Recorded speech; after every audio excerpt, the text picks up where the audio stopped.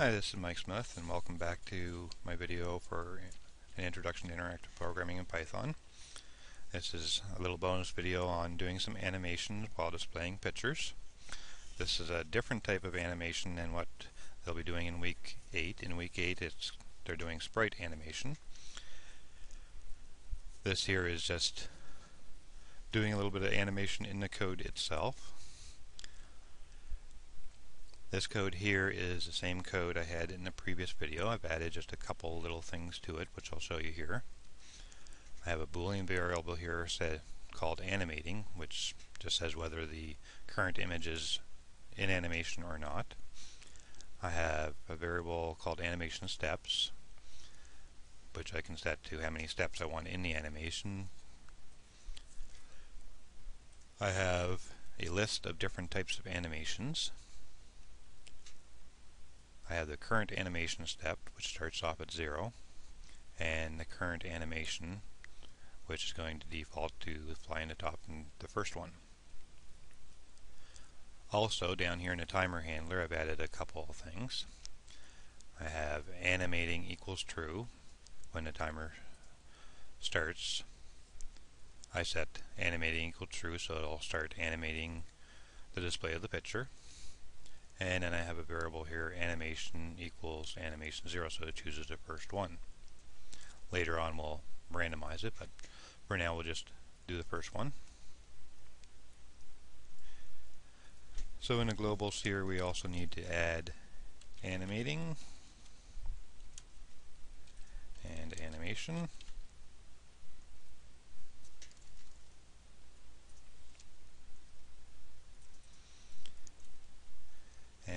function to do our animations. So we'll put in these couple of functions here. This here is just a Pythagorean theorem function, which we'll use later. We're not going to use it for this current one. So animate is going to take the canvas. It's going to take the image center and what type of animation it has to do. And it needs globals of animating, so when it's done the animation it can change animating to false. It needs animation steps so it can keep track of what step in the animation it is. And it also needs canvas location and canvas image size so it can change those depending on the animation where we want to display the image. So first thing we do is we increase the animation step by one and then we check to see if the animation step is greater than the total animation steps. If it is, we ch change animating to false to turn off the animation set animation step back to zero and then draw the image using its current variables and then we just return.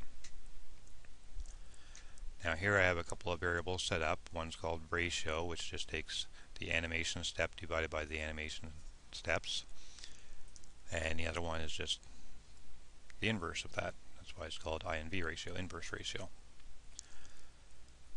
So our first animation is flying from top, so we do if animation equals flying from top. Then all we're going to do is we're going to bring the image in from the top. So all we have to do to do that is to change its current location over time. So the x location isn't going to same change, but the y location is going to change.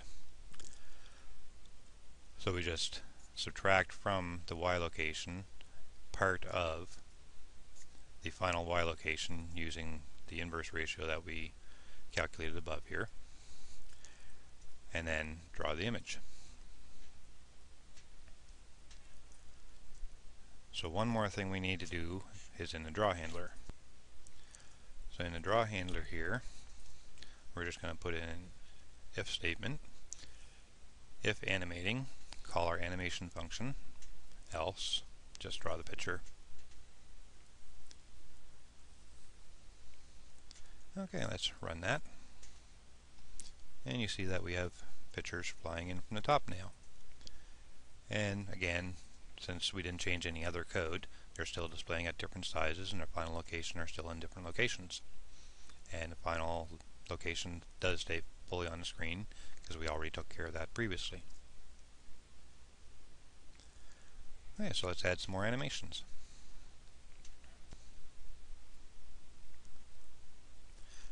So back up here in our animation function, we're going to add three more for now because they're fairly similar to what we just had.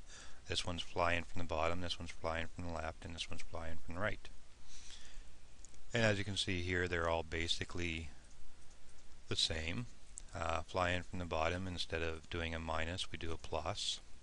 And then flying from the left, instead of doing our calculation on the y, we're doing our calculation on the x. And then in the right, we're doing a plus instead of the minus from the left. So we'll go down here and we'll test them. We'll change that to number 1. That should give us ones from the bottom. The first one still goes from the top because that's our default before we actually call our function. But the rest come in from the bottom now. And if we change this to 2, they'll come in from the left.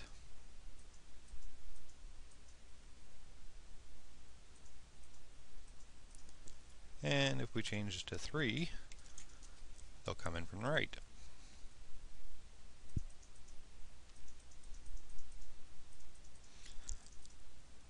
So that's four different animations with not too much code.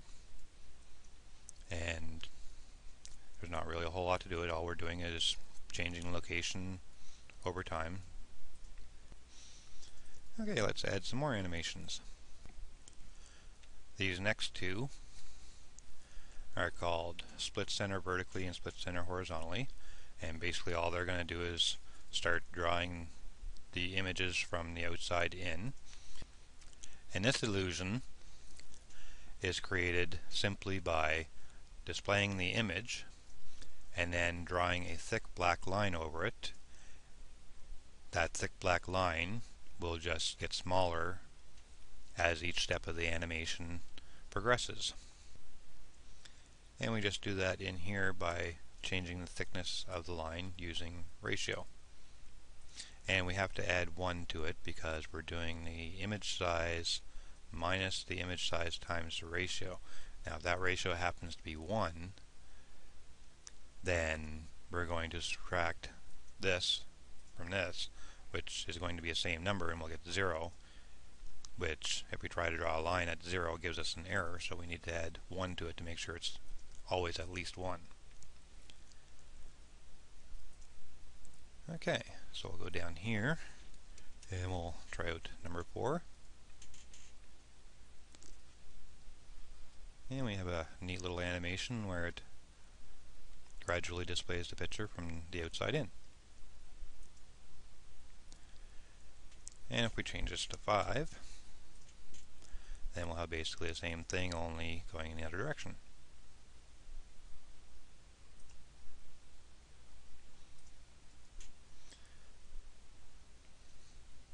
Okay, we'll go back up here to our timer handler and we'll add more animation.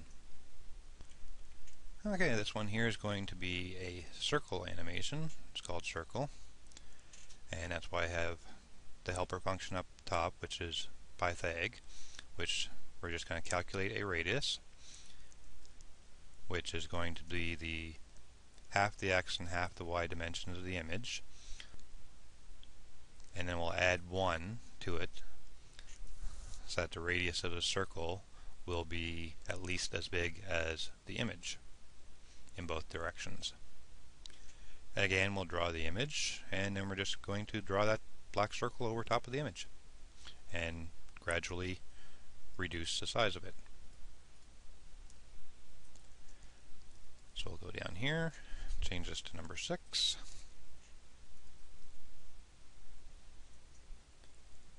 And again, another very simple animation. Looks interesting.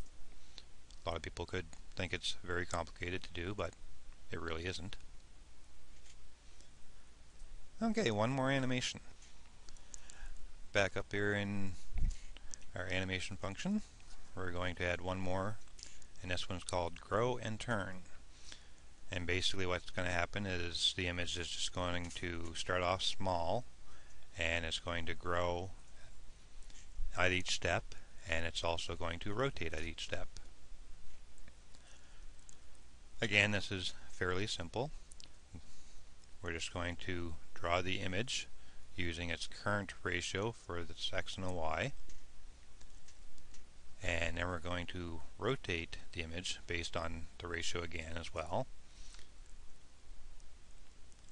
And then here we just draw the image with its current rotation which is an optional argument for draw image so we'll go down here change this to 7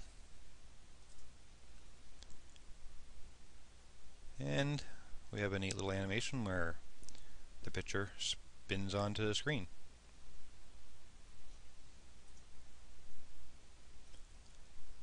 So one last thing, we're going to go down here, comment this line out, add this line in, so we'll have random animations for each image, and we'll run it again.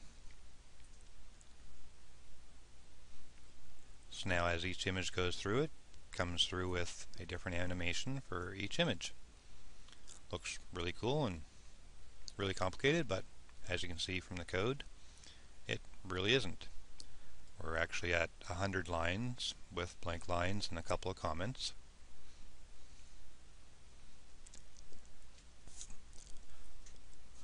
So something that looks like it could be very complicated actually isn't, and it is using only stuff that we have learned in the class so far.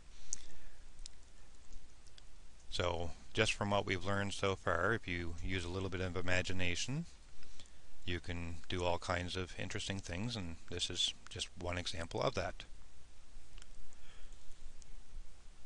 I hope you enjoyed this, and hopefully you can come up with some interesting things to do yourself. Thank you.